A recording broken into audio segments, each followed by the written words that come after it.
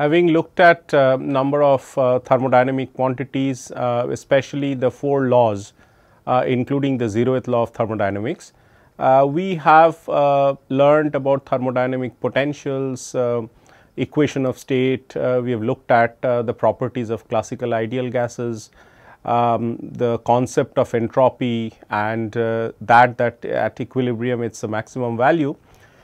we have to close our discussion on thermodynamics uh, but before that we will do uh, some of the important uh, things about thermodynamics which are important uh, for thermodynamics course and um, some of them are uh, not so very relevant to uh, the statistical mechanics course, but yet we want to do them for completeness. Thermodynamics was initially developed for devising thermal engines and refrigerators and uh, these examples are uh, car engines and uh, refrigerators, steam turbines and so on. And if you look at uh, the schematic diagram of a steam engine, uh, it's uh, there is a heat bath which is operating at a temperature T A and it's connected to an engine which is given by E. so, this E is drawing a heat Q A from this bath TA uh, maintained at TA and uh, is rejecting uh, heat which is QB which is going into another bath uh, let us call it as TB.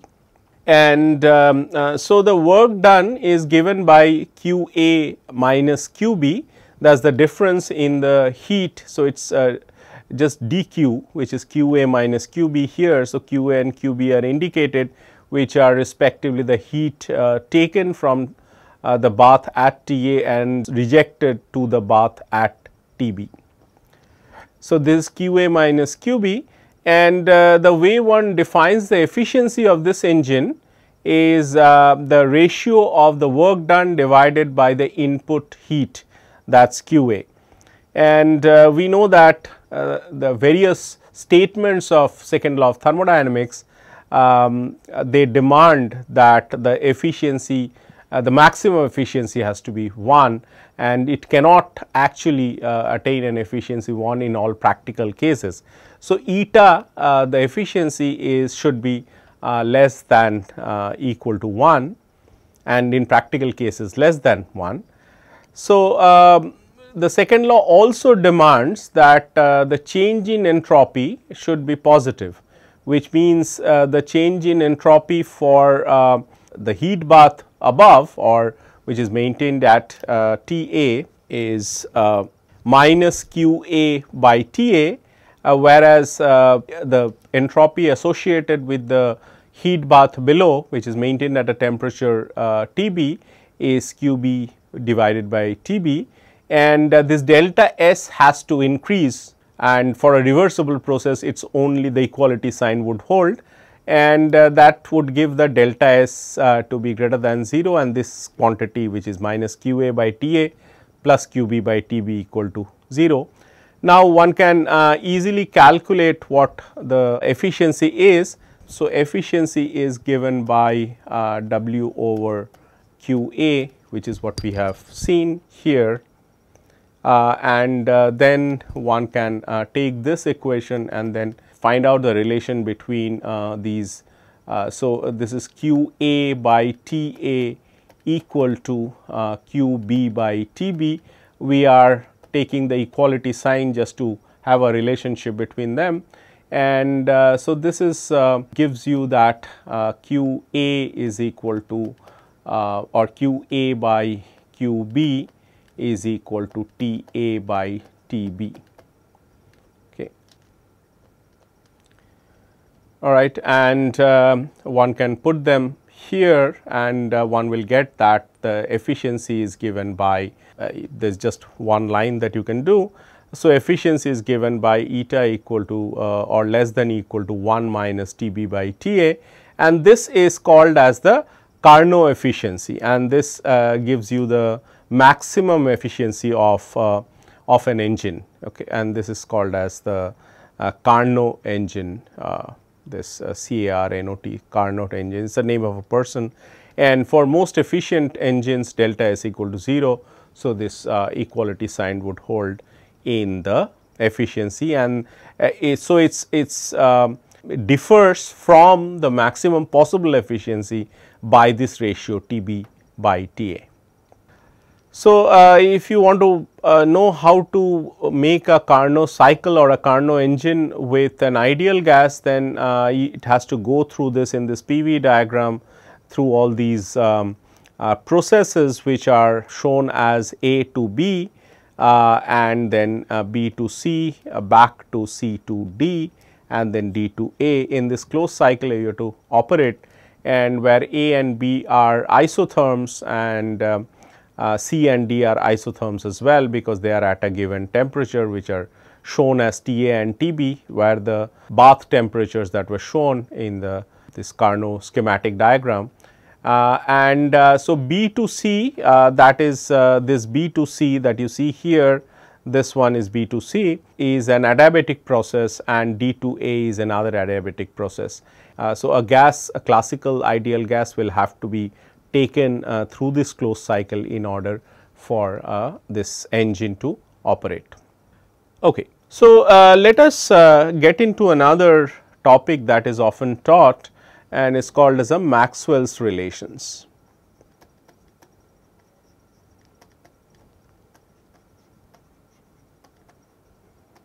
And uh, please do not make a, a confusion with Maxwell's equation in electrodynamics these are called Maxwell's relations and uh, so let me just write down Maxwell's relations in thermodynamics.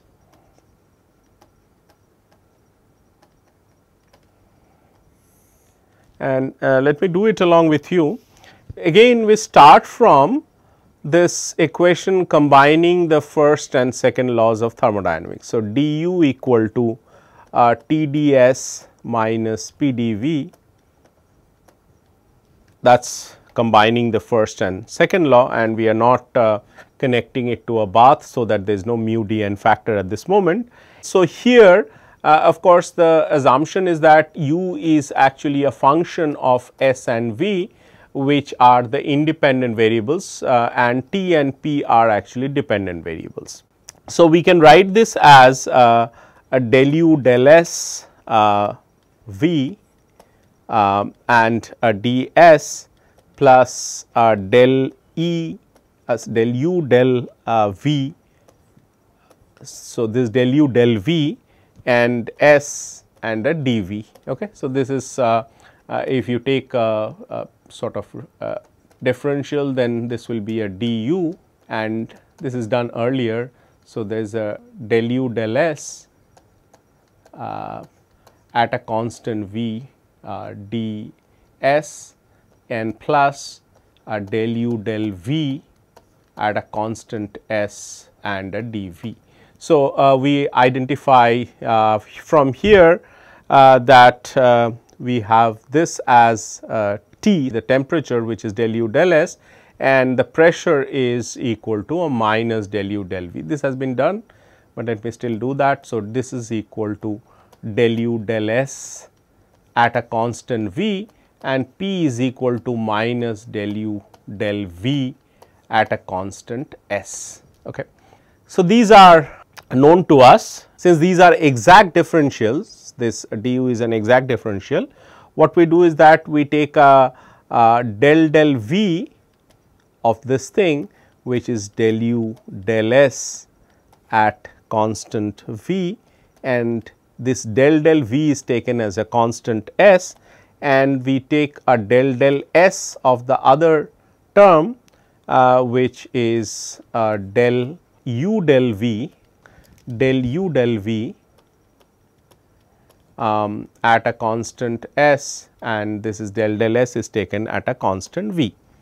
So, uh, this is nothing but t. So, we will write uh, del t del v at a constant s and we take a del del s um, at a minus. So, this is a minus uh, p. So, this is a minus del p del s minus of del uh, p del s uh, and at a constant v.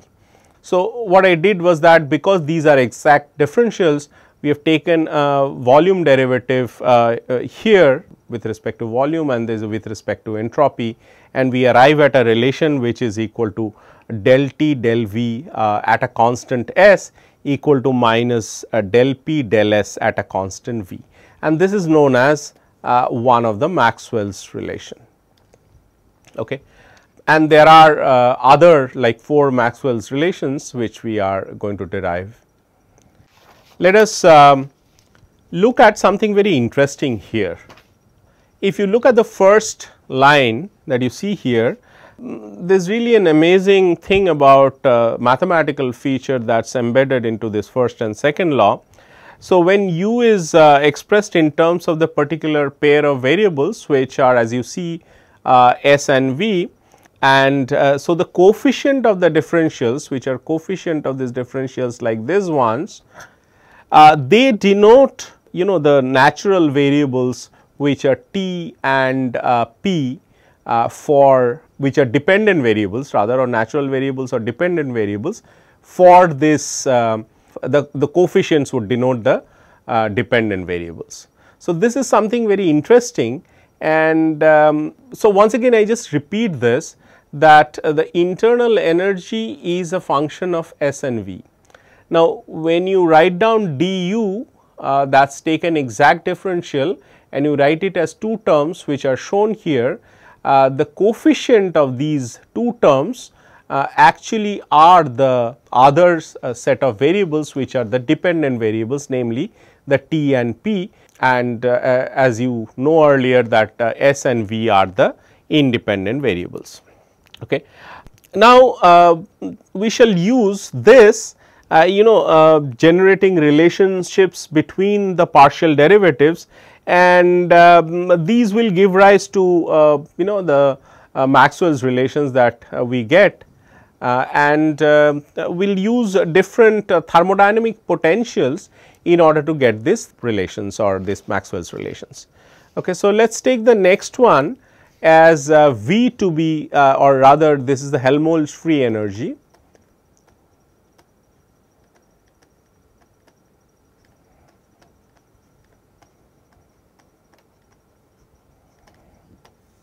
So, Helmholtz free energy is nothing but F equal to u minus T s and as you know for open systems there will be a minus mu n factor which we are not writing. So, d f is equal to d of uh, u minus T s which is uh, uh, du sorry let me write it as capital U.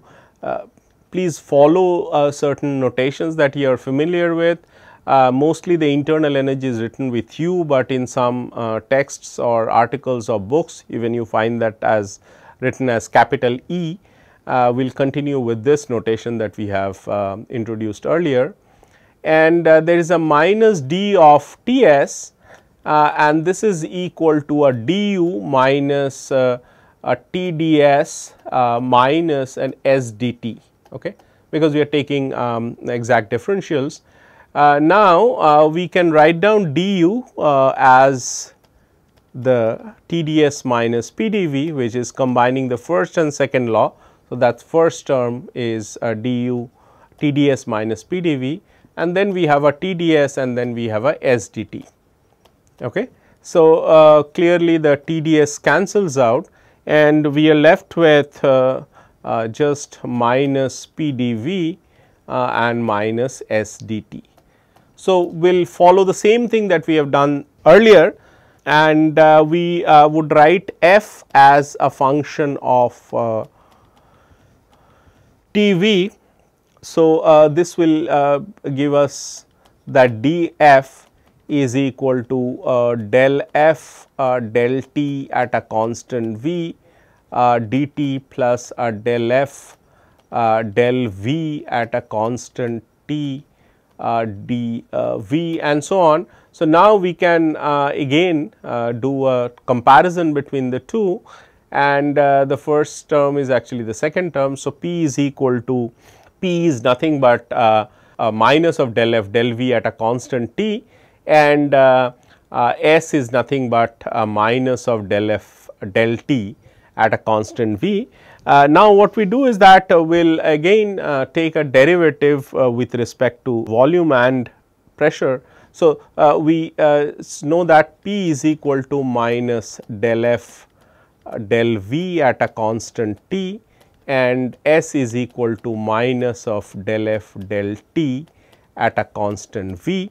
Now, we take this um, del S del V del S del V at a constant t uh, will be nothing but uh, del p uh, del t at a constant uh, v.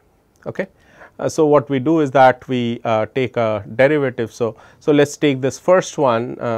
so, it is a del p del t at a constant v will be a minus del 2 f del or rather we can just simply write it del del uh, t of uh, del f del v at t. And similarly that is the first one. And we have a del s del v at a constant t. So, this is taken at a constant v.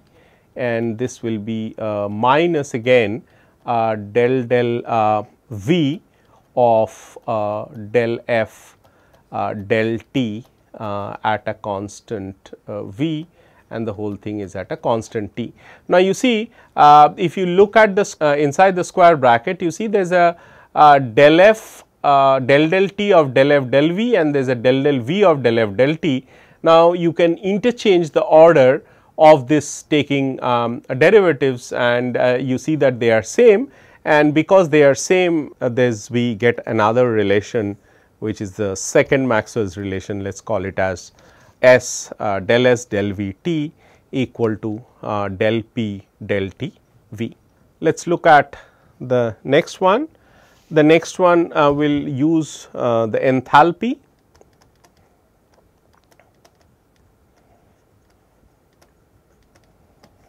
and enthalpy is again defined as H equal to uh, U plus P V they all are uh, done in the similar fashion. So, this is equal to we take a dH and dH is equal to d of u plus PV which is equal to du plus PdV plus a VdP and uh, once again uh, we use uh, du equal to uh, TdS minus PdV that is combining first and second law. So, this will be TDS minus PDV plus a PDV and plus a VDP. Uh, clearly, the PDV will cancel out and we get a TDS uh, and VDP. Uh, once again this H being uh, a function of you know uh, this uh, you can write down dH as uh, uh this TDS plus VDP and uh, H is a function of S and P. Uh, and uh, we can write down this dH. So, let us let me write it here. H is a function of S and P. And uh, once again you can do a dH which is equal to a del H del S at a constant P ds plus a del h uh, del p at a constant s dp. Now, you see that there is a ds here. So, this is equal to TDS plus a VDP. Now, you see that there is a, a ds here. So, the coefficient is uh, t is equal to this tells you that if you compare these two equations then uh, t is equal to uh, del h del s at a constant pressure and uh, your um, uh, V is equal to uh, del H del P uh, at a constant entropy. So, uh, now what we can do is that we can take a, a derivative of temperature with respect to pressure uh, and take another derivative of volume with respect to entropy and we will get the equality sign for this. So, exactly following the earlier method. So, we have a del t del p at a given s is equal to a del v del s uh, at a given p. So, this is the third Maxwell's relation which is obtained from the enthalpy and uh, finally, we uh, use the Gibbs free energy for the next one.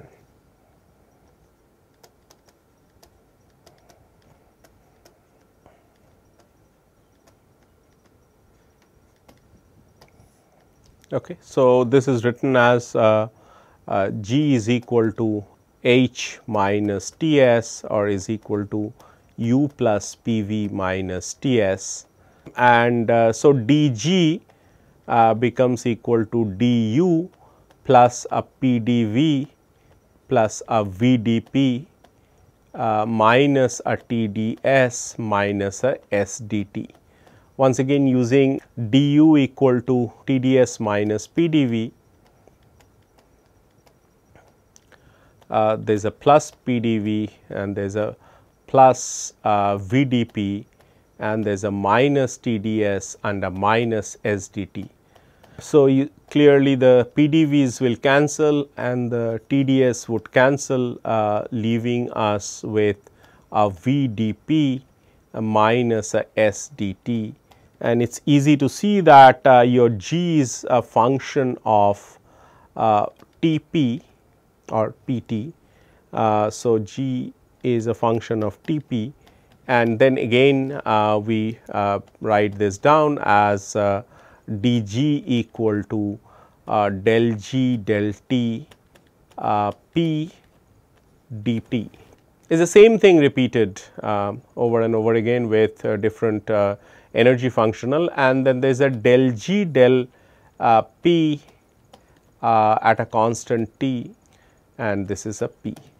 Uh, being a exact differential we can take a another double derivative for the first one with respect to p and the second one with respect to t and they would be same and uh, once we uh, actually compare with the one that is here. So, if, if you call this as equation 1 and this as equation 2 uh, which were there everywhere uh, earlier. So, we can uh, get a del S del P T is equal to a minus del V del T P. Okay. Just following the same things we get 4 Maxwell's equation. Let me just uh, show you so, one is del t del v at a constant s equal to minus del p del s at a constant v. Uh, the second one is del s del v at a constant t equal to del p del t at a constant v. Then it is a, a, del t del p at a constant s uh, equal to del v uh, del s uh, at a constant p and uh, these uh, del s del p at a constant t equal to minus del v del t at a constant p. What you have to remember, you do not uh, have to remember all this equation, but what you should remember is that we are using uh, all the thermodynamic potentials, internal energy, Helmholtz free energy, um, uh, enthalpy and Gibbs free energy and arriving at the relationships uh, by using repeatedly uh, the combination of the first and second law. Okay. So, um, uh, there are some uh, interesting mnemonic uh, devices or uh, uh, mnemonic devices, the one that uh, helps you to remember these relationships. And they are written as um, in a sort of square fashion. There is something interesting. So, it is u and a minus v and a f. And these are s and minus t here and you have a G here uh, and you have a P here and you have a H here. Okay. So, you're writing various quantities thermodynamic quantities including the potentials and other uh, intensive uh, and uh, extensive variables. So, uh, the uh, these um, free energies are written at the corner. so, if you start from the right corner, it is if the, the way to remember it is that uh, this is like uh, you know um, they are um, alphabetically arranged. So, it is F, G, H and then U. Uh, so, this is how you go uh, from here and the two uh, extensive variables are kept at uh, the two middle positions on the on the first row and on the left uh, middle of the left uh, column and uh, we put uh, again the two intensive variables which are uh, with some signs which are important because to get these Maxwell's relations correct. Uh, so, they are minus t and p. So, if you really you know start from this like this and then you go like go like this and then you then you go like this and then you go like this and then you come like this. Okay. So, the direction is like this. So, you can um, you know follow this path and um, uh, you can just get these relations like all these following this minus. So, there is a minus uh, 1 into a del s uh, del p uh, t is equal to a minus 1 into a minus 1 which gives you a plus and a del v del uh, t p and so on so forth. This is the relation that we have seen here uh, del s del p t minus del v del t p. Uh, so, this minus sign is interchanged. Uh, so, this is that uh, s and p. So, del s del p you come from here to here and uh, then you have del v del t uh, and these negative signs are arranged and this is just a way of you know remembering this for Maxwell's uh, relations. The interesting uh, by themselves, but if you remember them there is nothing uh, there is no need for such a device. All right. Let me carry on little more with the discussion on the thermodynamic potentials. And the reason for doing that is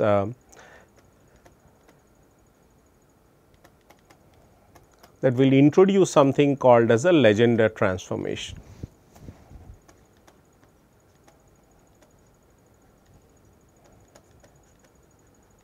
And what this is?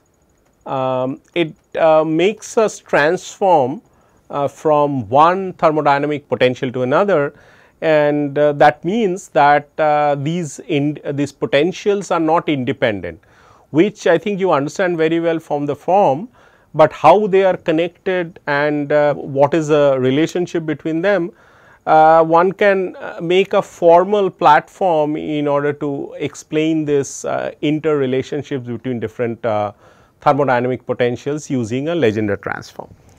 And uh, we will uh, look at sort of in brief what Legendre transformation is, but let me um, you know try to sort of give you a feeling that what we are trying to do so, uh, we uh, take this uh, u to be a function of uh, s, v and n which we have already seen. This is for an open system and uh, particularly we are going to you know make a distinction between open system and closed system or isolated system. In fact, um, uh, we will just see in a while the difference between them. And so, this is du equal to TDS minus uh, PDV uh, plus a mu dn. Uh, let us call this as equation number 1.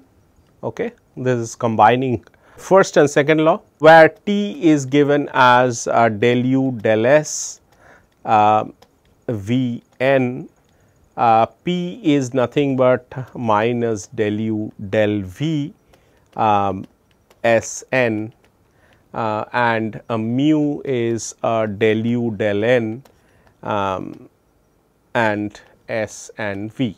Okay. So, these are um, the relationships of all these uh, the coefficients uh, in terms of the differentials.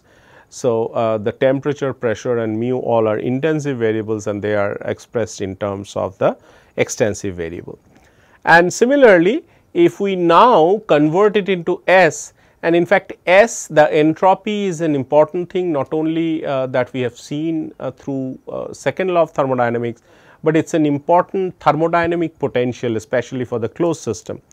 So, we can write down S as you know a function of u, v and n. Use S as a thermodynamic potential. This will give us a ds is equal to again 1 over t uh, du plus a p over t um, dv and minus mu over t dn. Uh, and uh, these are the quantities that you get. And uh, we will uh, sort of this let us call it as equation 3 and uh, if you again open it uh, like write ds equal to del s del u at constant vn into du and so on so forth. And then okay let me write that down just to avoid any um, so there is a del s del u at a constant Vn and a du plus a del s del v at a constant un dv plus a del s uh, del n at a constant u and v into dn and uh, compare between equation 3. So, you have a du here the first term and the coefficient is 1 over t. So, del s del u is equal to so, 1 over t is equal to del s del u uh, v n p over t is nothing but equal to uh, del s del v uh, u n uh, and uh, uh, mu over or minus mu over t equal to del s del n u v. Okay uh, let us call this as equation 4. Okay. So, these are uh, nicely uh, defined just like we have used uh, uh, u to be a function of svn, uh, we can use s as a function of uvn and there is an equivalent description um, using everything that we are aware of. Okay. so, this equation 1 and 3 these are called as the uh, equation of state of the system.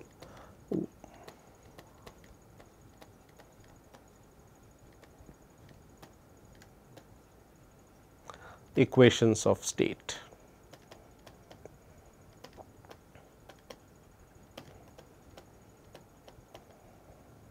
Okay. So, uh, u and s can be obtained by integrating equation 1 and 3. Okay and sometimes if you look at equation 3 which is that for the ds uh, it is more useful uh, because um, uh, you know um, the equilibrium state of a system is uh, a state of maximum entropy. So, ds is maximized and that is the reason that we uh, sometimes we find more uh, this equation 3 to be more useful than equation 1. Nevertheless, I mean this they are called as the equations of state. Now, you know these extensive variables such as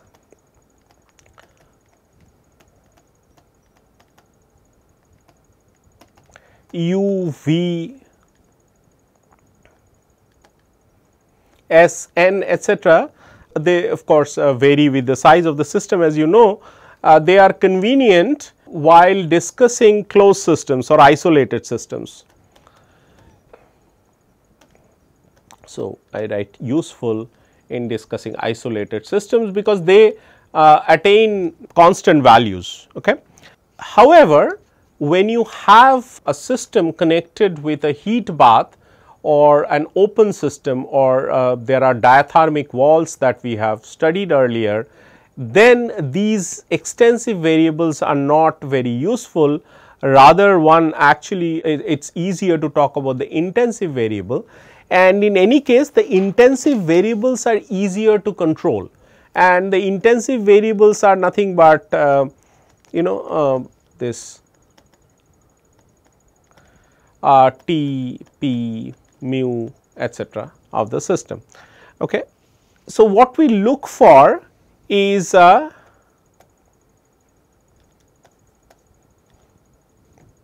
a transformation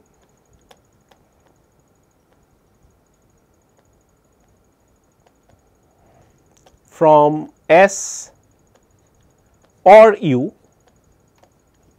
uh, to another potential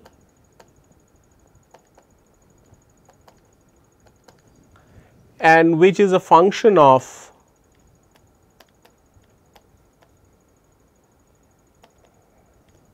of these um, t which is nothing but equal to del u del s at constant v or uh, p which is nothing but uh, minus uh, del u del v uh, at a constant uh, s uh, and n and maybe all that. So, v and n and this s and n and things like that. Okay. So, we look for a transformation of this change in thermodynamic potential from either s or u to these a function which is a function of not the extensive variables which are u, v, s, n, but they are functions of the intensive variable which are t and p.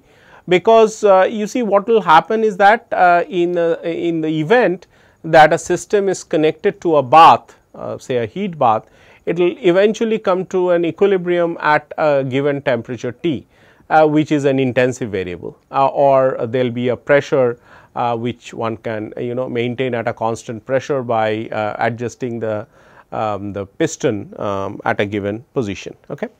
So, uh, this is done by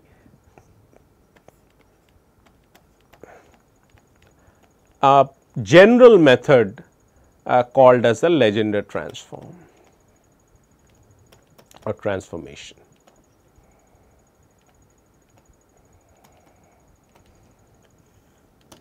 Okay. This is an important thing. So, let me um, quickly uh, sort of tell you what Legendre transformation is, so that uh, it is easier to understand.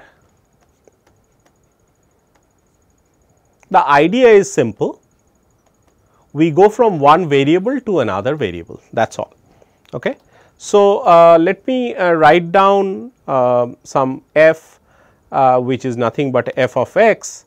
So, we take a, a function which is only a function of x and uh, what we do is that we uh, would uh, go from this f of x uh, to another function which is g and that is a function of another variable we can call it x prime or we can call it gp.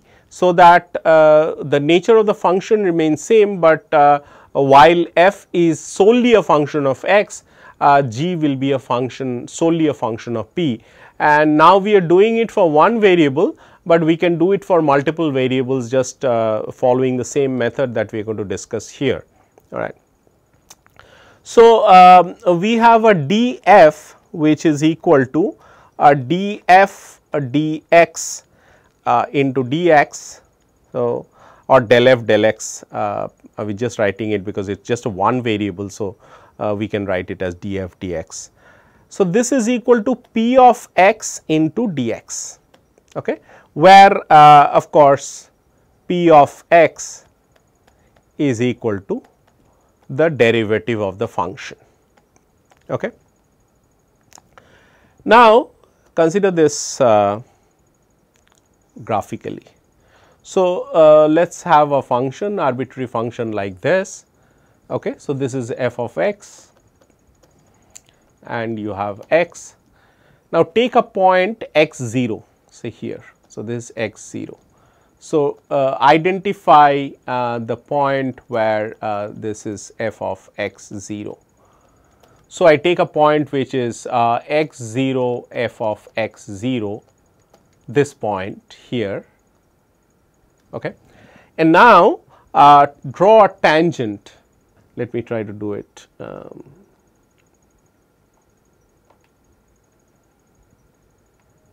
it is not very good, but you know what is happening. So, I draw a tangent t of x. So, I write t of x uh, is the tangent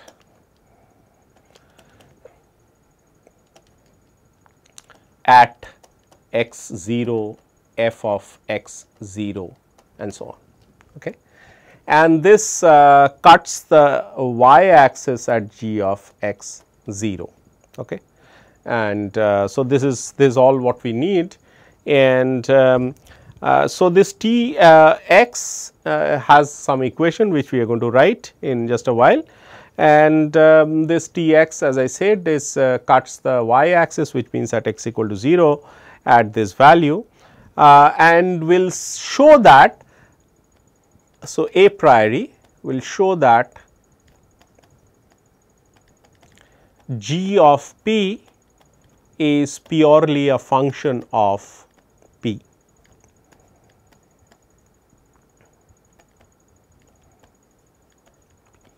And this is the Legendre transform or transformation that we are talking about. Okay. Let me uh, write down the equation for t of x. So, t of x this line that you see is a tangent line it is f of x 0 plus a f prime at x 0 x minus x 0. This elementary this trigonometry that uh, we have uh, or rather uh, uh geometry that we have not trigonometry geometry. So, t of x is equal to f of x 0 f prime x 0 x minus x 0. The intersection with y axis is uh, g uh, uh, is equal to t at x equal to 0. Okay. So, this g at x 0 is equal to t at at x equal to 0. Okay. All right. So, um, so g of x 0 let me go to the next page. So, g of x 0 is equal to f of x 0 minus x 0 f prime of uh, f prime of x 0 correct. So, this is a equation that we know. Now, this is at a given point x 0, but it can be at any point. So, we can generalize it to any point that is uh, uh, g of x is equal to f of x minus x uh, p of x. Okay. If it is true at uh, x 0 which is an arbitrary point anywhere on the curve, uh, then it is true for any uh, variable x. And uh, just to remind you that, uh, so let us call this as equation 1 and uh, p of x is nothing but df dx.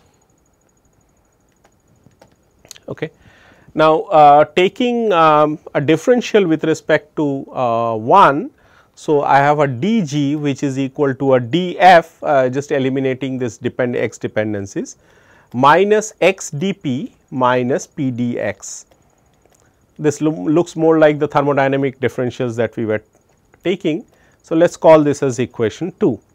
Uh, now, introduce df is equal to p dx okay, which can be seen from here. Uh, so, dx uh, is or df is equal to df equal to p dx. Okay. So, uh, we can write down this as um, dg it's equal to a p dx minus a x dp minus a p dx clearly this cancels out. So, dg equal to a minus x dp. So, uh, from the uh, discussion that we have now you see that uh, g is a function of p only okay because p is the uh, independent variable uh, x is a dependent variable. So, g is a function of p only uh, and if you want to actually calculate the explicit form of g that is possible. So, we will use p is equal to f prime and uh, uh, it is uh, possible to define g unambiguously and a function of uh, uh, solely on p if uh, this quantity exists which is f prime of x inverse of that if it exists. Because if you see that del f del x is p so, the inverse of this is 1 over p. Uh, so, that would exist if only p exists which means that it does not blow up which means that this quantity does not blow up. So, this uh, uh, tells you that uh, x is equal to uh, f prime uh, p and inverse of that and so we can put it down into equation 2 or rather equation 1 and write g of p equal to Uh, f of uh, uh, f prime of p uh, inverse uh, which is um, which is f of x because x is equal to this thing. So, let me if you want I can put another bracket just to. So, this is a function. So, that is f of x that is f of x in 1 and a minus that is the second term is uh, f prime of p uh, inverse of that and multiplied by p which is uh, which is there in the second term. So, this is the second term in equation 1. So, this is the first term and this is the second term. Okay. Very well. So, uh, that tells you that uh, you can see it very clearly that g is uh, purely a function of p. So, g p is solely a function of a function of p which means that that will only be true if p is not equal to 0 okay which makes sense. Uh, let me give you a simple example just to uh, make this point clear. Uh, consider f of x equal to x square. So, f prime of x is equal to 2 x which is according to our convention it is equal to p. So, g of x putting into the equation 1 it is equal to x square minus p x. Uh, now, we have to eliminate x uh, using so, eliminate x using x equal to p by 2 which is coming from this equation C f prime equation above. Okay. So, if you do that uh, then uh, your uh, f prime p the inverse of this this becomes equal to x which is equal to uh, p by 2 and then uh, the g of p is equal to uh, 1 fourth p square because it is x square the first term uh, and then minus p x uh, that is half of uh, minus half of p square because x is p by 2 and then multiplied by p so, it is p square by 2 and this is equal to minus 1 fourth p square. So, now you uh, we got g solely a function of p and you can see it easily that dg this is equal to a minus half p dp uh, which is my nothing but minus x dp which is correct which is what we have just got uh, earlier. Okay. So, uh, this is for any uh, arbitrary function and as I said that uh, it this Legendre transformation can be generalized to more variables.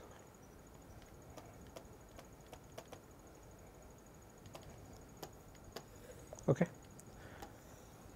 Let us just see this uh, for the thermodynamic potential. So, uh, let us say the free energy and internal energy. So, Helmholtz free energy so, F uh, Helmholtz free energy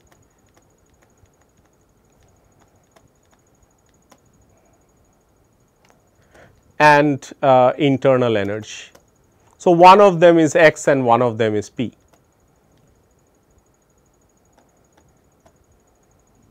Okay. So, uh, F is equal to uh, u minus uh, T s uh, which is nothing but minus P v plus mu n. So, uh, for uh, the internal energy we of course are familiar. Now, we are talking about a uh, not a closed or isolated system, we are talking about an open system. And this is very important because uh, uh, we have these mu that needs to be considered now. And so du is equal to TdS minus PdV plus a mu dn and uh, we can uh, so this is uh, for the du.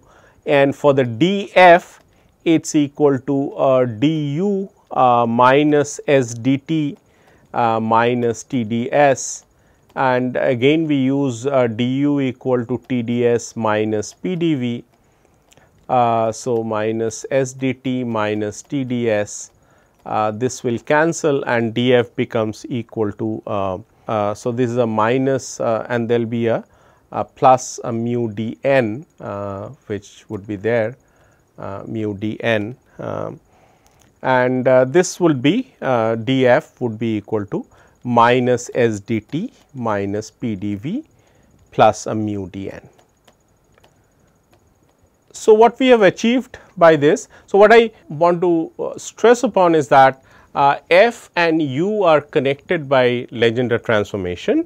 So, while u was a function of s, v and n, f is a function of uh, t, v and n.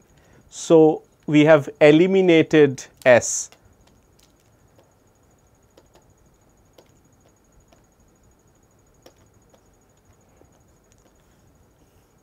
because S uh, is not a useful quantity um, when you have connected it to a temperature bath or a heat bath and it is a, a, sort of uh, a non um, uh, isolated system, it is an open system.